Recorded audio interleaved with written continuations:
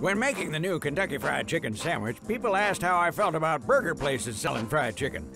I'd say that's none of my business. Just like making fried chicken is none of theirs.